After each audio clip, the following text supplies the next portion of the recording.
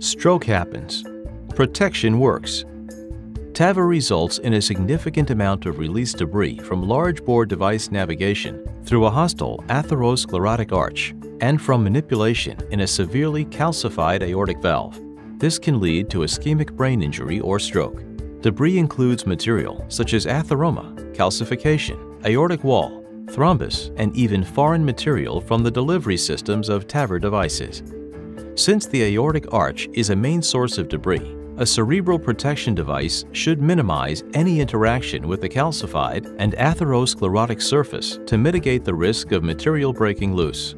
This means the cerebral protection system should be placed intraluminally in the supraaortic vessels.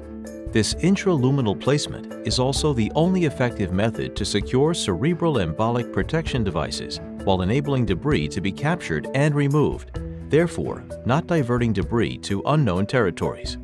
Independent core lab-driven histopathology analyses have confirmed that when Sentinel is used, 99% of patients have debris filtered, regardless of the risk profile of the patient or the TAVR valve type being used.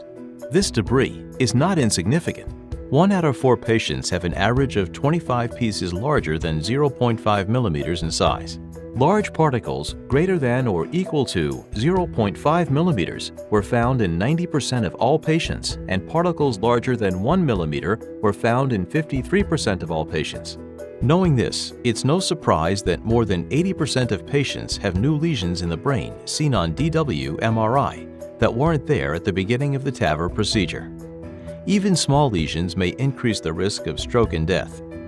And we also know that lesion location can be more important than size. In fact, the Sentinel randomized controlled trial shows that lesion size, i.e. volume, number, and location all matter.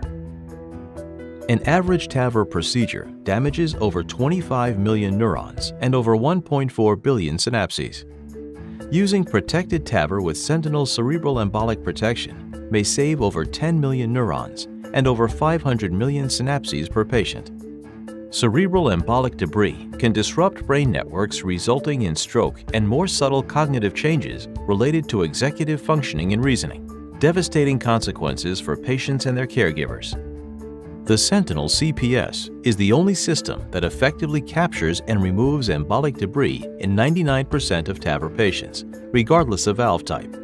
Device placement success was achieved in 99.6% of cases.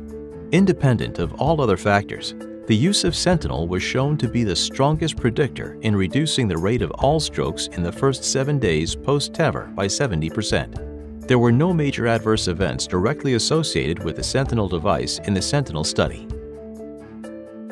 Stroke happens. Protection works. Treat the heart. Protect the brain.